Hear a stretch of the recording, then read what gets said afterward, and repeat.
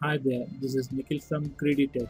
In this video, I am going to show you how to disable developer options on any Android device. First, go into the settings. So let's check out the developer options.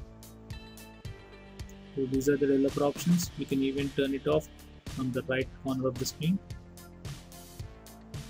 So if you want to completely remove this option from the settings, all you need to do is go to the applications and go to all apps and scroll down and find settings. Once you open it select clear data and press ok. Now developer options are completely removed from your settings. Let's go check it out.